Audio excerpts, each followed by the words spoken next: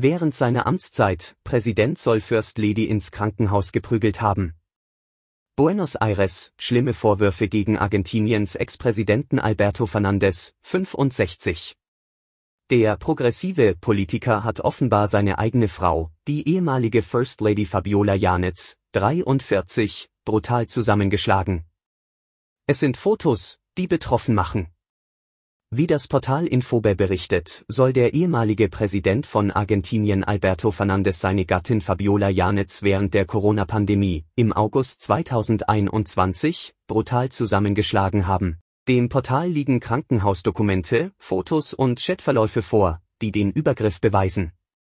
Auf Fotos, die offenbar im Krankenhaus entstanden, ist zu sehen, wie die First Lady heftige Blutergüssen im Gesicht und an den Armen trägt.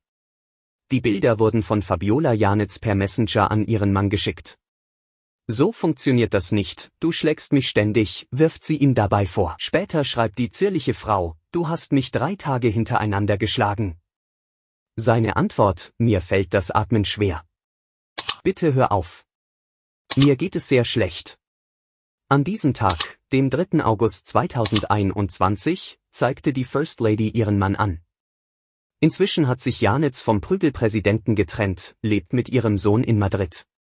Alberto Fernandez stärkte die Rechte von Minderheiten, seine Ehefrau soll er hingegen verprügelt haben. Inzwischen hat der Fall an Fahrt aufgenommen.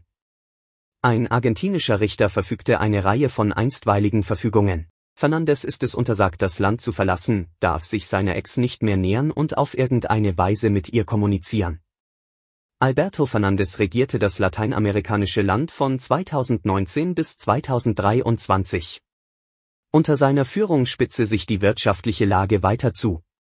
Zuvor war der Jurist jahrelang an den Schalthebeln der Macht.